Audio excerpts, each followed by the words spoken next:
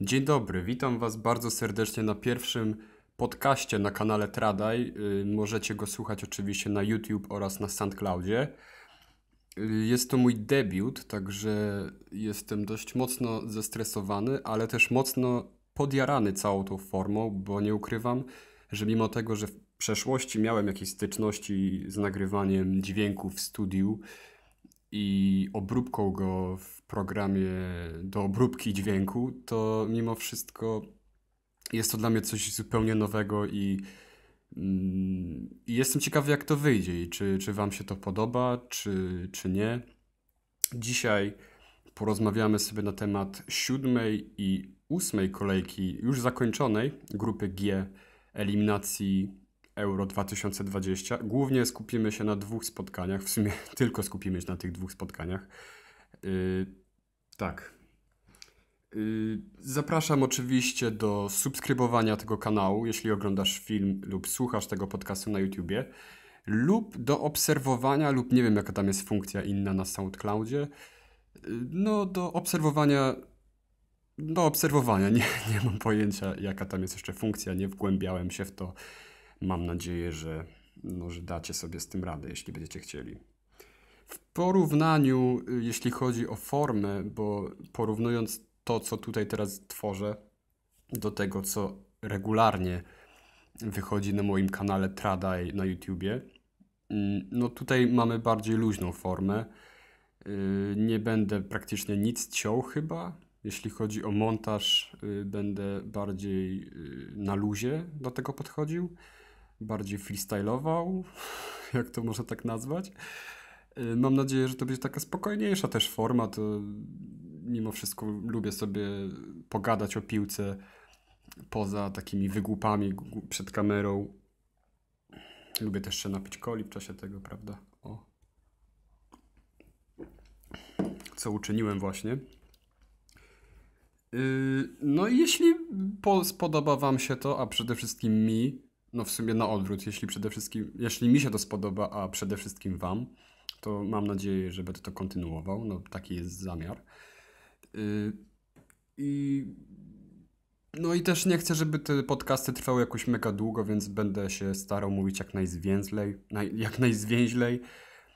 Mm, No i też muszę przyznać, że nie mam i też proszę oczywiście od początku, od samego początku o, o wyrozumiałość, bo nie mam tak naprawdę odpowiedniego chyba sprzętu, jeśli chodzi, y, chodzi mi oczywiście o wyrozumiałość dotyczącą jakości tego dźwięku, y, do tego, do, dotyczącą jakości nagrania, bo nie, nie jestem wyposażony w jakiś turbo profesjonalny sprzęt, wręcz przeciwnie, powiedziałbym na odwrót, że jestem wyposażony w bardzo amatorski sprzęt i gdybyście teraz zobaczyli, jak wygląda moje otoczenie, to na pewno byście w to trochę nie uwierzyli. Ale po to są podcasty, żeby nie pokazywać obrazu. Yy, To jest też plus. I no, nie przedłużajmy tego, bo już sobie sam zaprzeczam, że to miała być zwięzła forma. Przejdźmy do meritum, czyli tego, co się działo w tych dwóch spotkaniach, czyli, czyli Łotwa Polska w czwartek o godzinie 20.45 i mecz, który został właśnie teraz rozegrany, bo mówię to zaraz po spotkaniu skończonym. Y, Łotwa, nie Łotwa, Macedo- Polska Macedonia Północna. Y, Tam padł wynik z- 2 do 0 dla Polski, ale najpierw skupimy się na tym pierwszym meczu.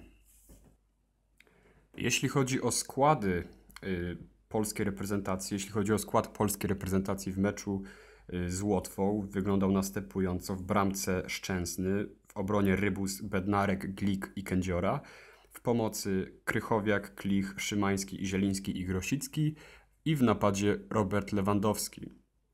Wszystkie trzy gole strzelił właśnie dla Polski Robert Lewandowski. Y, Były to minuty 9, 13 oraz 76. Dwie asysty zanotował Kamil Grosicki oraz jedną Szymański.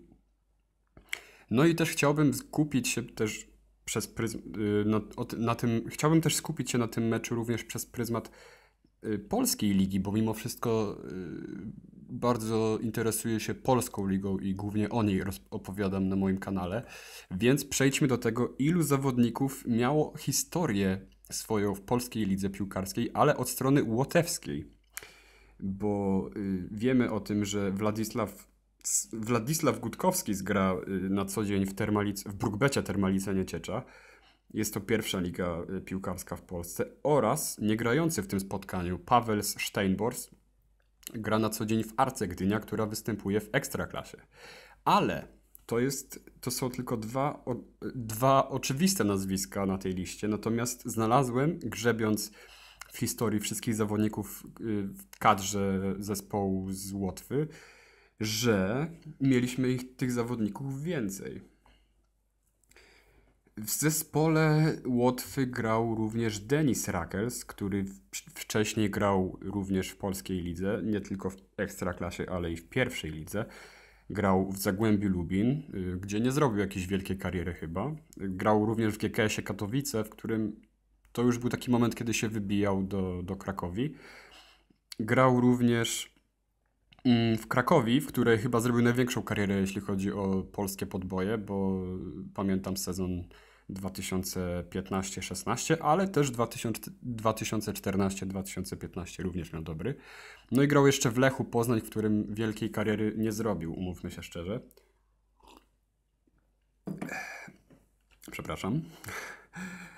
I tutaj też się zdziwiłem, bo mieliśmy jeszcze innych zawodników. Witalis Maksimenko grał w polskiej ekstraklasie, ale teraz, oj, zapomniałem w którym klubie. Moment, to może przejdźmy do innego zawodnika, sobie to znajdę.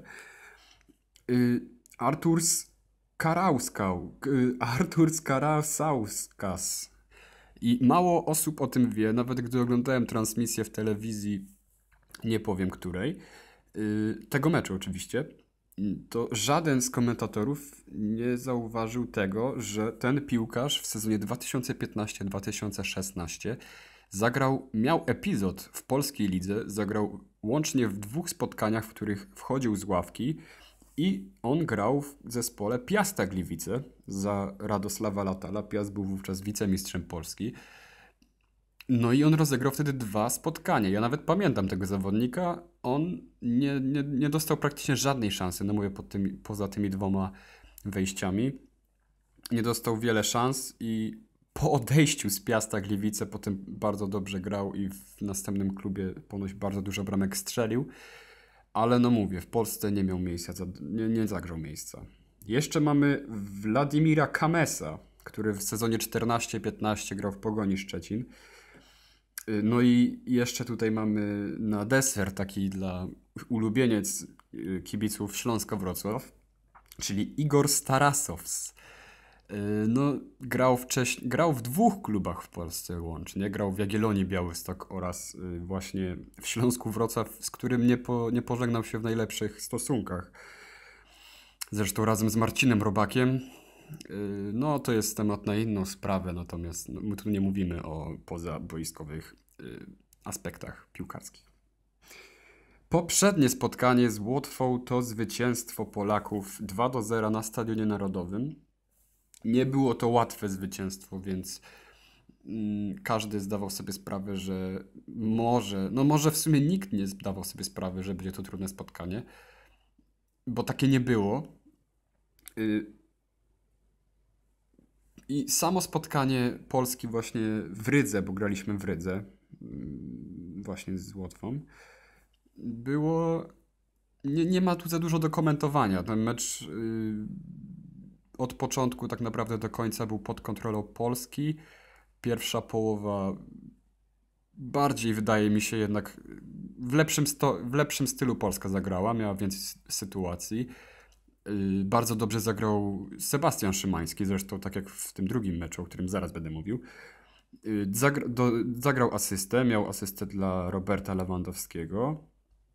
Znaczy podał piłkę Robertowi Lewandowskiemu, także strzelił bramkę. W ogóle bardzo ładnie grali, ale też zwróćmy uwagę na to, jaki był rywal, że to jest zespół, który do tego meczu nie wygrał ani jednego spotkania. Strzelił jednego gola, tak naprawdę nie on strzelił jednego gola, bo to był gol strzelony y, samobójczy y, w meczu z Macedonią Północną. I tylko dlatego ten jeden gol padł i jest na koncie Łotwy.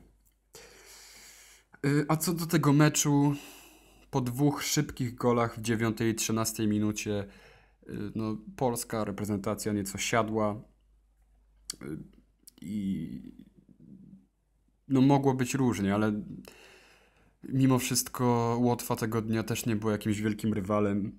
No ten mecz był naprawdę bez historii. To było po prostu takie 3-0 w takim średnim stylu. Pierwsze, ten mówię, 13 minut 20, gdzie Polska naprawdę chciała, a grała mocne akcje ofensywne. No i wtedy te bramki padły, potem mówię, tempo siadło i dopiero w końcówce jeszcze po podaniu Grosickiego Robert Lewandowski strzelił dwie bramki, e, strzelił bramkę. Też trzeba przyznać, że Polska miała poza tymi dwoma, poza tymi trzema akcjami bramkowymi niezłe sytuacje. Kamil Grosicki chyba dwie zmarnował. No i dobrze zagrał według mnie też poza Robertem Lewandowskim, który oczywiście hat-trick y, zanotował. Zanotował hat-tricka. No to przede wszystkim Sebastian Szymański i Grzegorz Krychowiak. To są, to jest ten, to są ci trzej zawodnicy, którzy najbardziej mi się podobali w tym meczu. Ale też nie uważam, że Piotr Zieliński zagrał jakoś, jakoś tragicznie.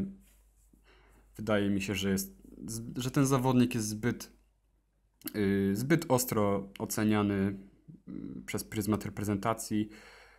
Poza tym on jest, wydaje mi się, za bardzo oceniany negatywnie przez pryzmat swoich umiejętności, bo nie wydaje mi się, żeby reszta zespołu zagrała o niebo lepiej niż Piotr Zieliński, który po prostu jest niewolnikiem swoich umiejętności klubowych i jakiejś, jakiejś tam przeszłości jeszcze mimo wszystko w reprezentacji Polski. No i to, to jest chyba na tyle o tym meczu. No, nie, niewiele się działo. Jedyne, co można jeszcze wspomnieć, że bardzo dużo kibiców polskiej reprezentacji było w Rydze. Głównie oni tam grali, graliśmy tam u siebie tak naprawdę. I, I oglądając to spotkanie miałem też wrażenie, jakbym oglądał mecz ŁKS-u, bo tylko jedna trybuna tak naprawdę i po lewej gdzieś z dala, po lewej i po prawej, czyli od trybuna północna i południowa były dość daleko za obiektyw, za, za trochę się zagubiłem. Właśnie mówię o tym stresie. Pierwszy raz to robię, także miej, miejmy to na uwadze. Y, poza widokiem, poza wzrokiem obiektywu, o, więc tego, tej, tych trybun bocznych nie było za bardzo widać i tak mówię, jakby na UKS-ie, ale bardzo ładny telebim tam, tam stał z przodu i mówię, cały czas było słychać polskich kibiców, a frekwencja mimo wszystko nie była zbyt duża. No i to jest tyle, jeśli chodzi o to spotkanie. Nie działo się więcej nic ciekawego. I wydaje mi się, że już możemy przejść do meczu numer dwa, czyli meczu w kolejce ósmej. Dobrze, mecz Polska, y, mecz Polska Macedonia Północna rozegrany w niedzielę 13 października na Stadionie Narodowym y, w Warszawie. Mecz zakończył się wynikiem 2 do 0 dla gospodarzy, czyli dla Polski. Bramki padały w 74 i 80 minucie meczu i strzelali je Frankowski i Milik. W obu akcjach asystował Robert Lewandowski. Przeczytam składy, znaczy składy znowu polskiej reprezentacji na to spotkanie, w którym były zmiany. Od początku zagrał, ale to najpierw przeczytam całość. W bramce Szczęsny, w obronie Bereszyński, Glik, Bednarek i Reca, w pomocy Góralski, Krychowiak, Szymański, Zieliński, Grosicki i w napadzie Lewandowski. Mamy zmianę względem poprzedniego spotkania, nawet dwie chyba. Na obronie zagrał Reca i w pomocy zagrał Góralski. Jacek Góralski, jeśli miałbym skomentować jakoś występ obu tych panów, na bardzo duży plus bym go skomentował. Reca w pierwszej połowie bardzo ofensywnie się zachowywał, mimo tego, że jest obrońcą, ale ja pamiętam tego chłopaka z Wisły Płock i muszę przyznać, że jego powołania na reprezentację wcale mnie nie dziwiły, bo był to zawodnik, który wyróżniał się już nawet w polskiej lidze, też głównie ze względu na swoją cieszynkę, pamiętam te salta zawsze z tymi piruetami. Bardzo mi się to zawsze podobało. I mówię, jak na obrońcę był to zawodnik, który strzelał bardzo dużo bramek i jak najbardziej. Według mnie ten zawodnik zasługuje na powołania do reprezentacji polskiej y, seniorskiej. Jeśli chodzi o Jacka Góralskiego, również bardzo dobry występ, mimo tego, że ja też pamiętam go z Jagiellonii Białystok, on nie był, nie jest najmłodszym zawodnikiem mimo wszystko, y, ale pamiętam go z Jagiellonii Białystok, jak też pozytywne, pozytywnie go zapamiętałem. I dzisiaj w meczu z Macedonią Północną zagrał też bardzo dobrze. I w ogóle cały zespół polski zagrał bardzo dobrze. Y, miałem takie wrażenie, że był to chyba najlepszy mecz Polaków na tych eliminacjach. Y, grali od początku tak naprawdę ofensywnie, nie było tam żadnych, żadnej kalkulacji. Bardzo podobali mi się znowu środkowi pomocnicy. I co jeszcze rzuciło mi się w czasie tego meczu w oczy, to że bardzo dużo żółtych kartek pokazywał pan sędzia w tym meczu. I to z jednej strony, i to z drugiej strony mecz był bardzo ostry, bardzo dużo głupich fauli. No i to też e, wydaje mi się rzutowało na poziom tego meczu, ale też pierwszym punktem, który mocno rzutował na obraz tego meczu, był stan murawy, który z jakiegoś powodu był, no nie wiem jaki był, ale było, grali, zawodnicy grali tak, że ciągle się ślizgali i to też z obu stron, także nie był to jakiś tam problem złych wkrętów w korkach, tylko po prostu wszyscy się ślizgali, bo było tak ślisko. No i tak jak mówiłem, Polacy grali odważnie, w pierwszej połowie stworzyli więcej sytuacji niż Macedonia Północna. Macedończycy może na początku pierwszej połowy trochę odważnie grali piłką, potem już trochę się zasłonili podwójną gardą. No i polska reprezentacja miała kilka naprawdę niezłych sytuacji na to, żeby objąć prowadzenie w tym meczu. I tylko dzięki łudowi szczęścia y, nie udało się to Polakom. Znaczy, łudowi szczęścia nie udało się. Yy, znaczy inaczej, dzięki pechowi nie udało się objąć prowadzenia. Świetne sytuacje miał Robert Lewandowski oraz Zieliński, Szymański. Naprawdę było tego mega dużo. Yy, jeśli chodzi o tą pierwszą połowę, no to takiego, podkry- takiego bym podsumował. Druga połowa, no, do momentu pierwszej bramki, e, no, była taka jak pierwsza, tylko że tak 50% mniej Polska atakowała. Mimo tego, że miała nadal, nadal przewagę, to jednak Macedonia też trochę spuściła stonu. I do 74 minuty Polacy, mówię, grali tak sobie. W momencie, kiedy wszedł Y, Frankowski na boisku zmienił Kamila Grosickiego. Od razu miał wejście Smoka i po pięknym tak naprawdę podaniu Roberta Lewandowskiego, które chyba, no nie wiem, czy nie, nie było przypadkowe. Tam było zagranie między nogami obrońcy. Do piłki dobiegł y, Przemysław Frankowski i strzelił bramkę. No, y, no mówię, jak wejście Smoka. No i potem ta, ta, ta bramka chyba tak uskrzydliła zawodników reprezentacji Polski, że od razu ruszyli do następnej akcji. Też miał w niej, miał w niej udział Robert, nie Robert też, ale miał, miał w niej udział Przemysław Frankowski. Rozegrał pierwsze podanie do Arkadiusza Milika, który potem zrzucił główką na nogę Lewandowskiego, który lekko przestrzelił. No, lekko, no, dość mocno przestrzelił, umówmy się. Yy, no i potem już bramka Milika to już w ogóle była akcja Stadiony Świata, bo Grzegorz Krychowiak wybił piłkę z autu yy, bardzo szybko do Roberta Lewandowskiego, który pięknym podaniem, taką obrotem takim z, z, dograł piłkę do Arkadiusza Milika. Przy okazji był faulowany przez obrońcę Macedonii i w tym momencie bardzo dobrze zachował się pan sędzia, który puścił grę no i Arkadiusz Milik stanął, stał. To nie była sytuacja tak naprawdę klarowna. Był na 30 metrze i uderzył bardzo ładnie technicznym strzałem w lewą nogą po dalszym słupku. No i bramkarz już nawet nie, nie wyciągał rąk do tego strzału, także to jest, to bardzo dużo wyjaśnia. No i mówię, mecz zakończył się wynikiem 2 do 0 dla polskiej reprezentacji. Ten wynik sprawia, tak, sprawia, że Polska awansowała już na Mistrzostwa Europy 2020. Będzie to bodajże już trzeci turniej polskiej reprezentacji na tym turnieju, pierwszy za czasów Leo Benhakera w 2008 roku i był to mecz. Y, awansowaliśmy po meczu w Chorzowie, po meczu z reprezentacją Belgii i ja byłem na tym spotkaniu. Haha, byłem, miałem wtedy, poczekajcie, bo to był 2007 rok, to był grudzień. To było, to ja miałem wtedy 10 lat. Tak, miałem 10 lat i wtedy y, polska reprezentacja awansowała. Byłem na tym meczu, tam dwie bramki strzelił Eusebiusz Smolarek. Zresztą y, stadion Śląski w Chorzowie był zawsze dla niego szczęśliwy. Jeszcze miał dwie bramki z Portugalią wcześniej na tym stadionie. W ogóle ten stadion, to Stadion Śląski w Chorzowie to jest dla mnie naprawdę nostalgiczny obiekt, bo to na tym stadionie stawiałem tak naprawdę swoje pierwsze kroki jako widz.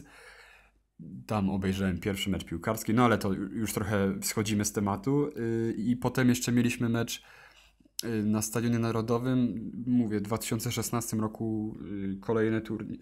Nie, to będzie czwarty turniej. Boże, co ja, tutaj, tu, co ja tu paplałem? 2008, 2012. Yy, to wiadomo, byliśmy wtedy gospodarzami z, razem z Ukrainą. 2000, w 2016 bezpośredni awans i teraz do 2020 też bezpośredni awans, no ale z raczej łatwej grupy mimo wszystko. Tutaj sobie sprawdzę, ile mam jeszcze czasu. Mówię już 21 minut około. No i tak, yy, narzekano na styl gry reprezentacji Polski Jerzego Brzęczka, ale to zawsze według mnie jest trochę głupota, bo mimo wszystko te wyniki są najważniejsze, bo często jest tak, i to mówię, w polskiej lidze zazwyczaj tak jest, że, że to wyniki napędzają grę zespołów i, i w momencie, kiedy nie ma tego stylu, a są wyniki, to jednak jest no, każdy chyba woli wygrywać. Mimo wszystko piłka nożna polega na tym, że wygrywa ten, który strzeli więcej bramek. No i też patrząc na nasze statystyki, czyli reprezentacji Polski na tych eliminacjach, są one obłędne. 13 bramek strzelonych, dwie stracone w 8 meczach to jest dla mnie naprawdę wynik, którego, którego nie da się tak naprawdę podważać, bo nawet patrząc na pryzmat tego, że niby jesteśmy w słabej grupie, to jednak y, no, niektóre zespoły z, z, tej naszej grupy, czyli grupy G, no, są w naprawdę niezłej formie. Na przykład właśnie ta Macedonia, z którą wygraliśmy dwukrotnie w tym sezonie. Y, w Skopie 1-0 i tutaj 2-0. Y, tak samo z reprezentacja Austrii, mimo tego, że w poprzednim meczu no, narodowym było 0-0 i styl był taki sobie, wręcz bym powiedział, że dość słaby, ale nie straciliśmy bramki, a bilans nasz jest 4 punkty z nimi, z Austrią na stadionie Ernesta Hapela wygraliśmy 1-0, więc tutaj no, według mnie lepiej. Ja byłem często y, kibicem klubu, który grał bardzo ładnie. Wszyscy chwalili go za, za styl.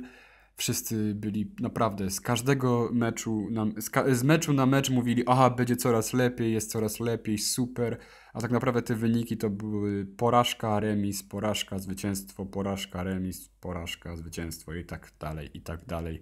Wreszcie skończyło się to na miejscu bardzo niskim, więc mówię, ja jestem zwolennikiem punktowania, yy, a nie ładnej gry tak naprawdę. Chociaż najlepiej jak szłoby to w parze. I zazwyczaj tak jest. Też nie można tego tak... Yy, też Polska naprawdę dzisiaj zagrała bardzo dobre spotkanie. Praktycznie wszystkie atuty Macedonii Północnej zostały zneutralizowane, która wygrała zresztą w poprzednim meczu ze Słowenią 2 do 1, z którą nam się nie udało. I to też jest według mnie jakiś e, wyznacznik. No i też sprawdzałem, czy jacyś zawodnicy z polskiej ligi nie grali w Maced- nie grają w Macedonii. Nie grają.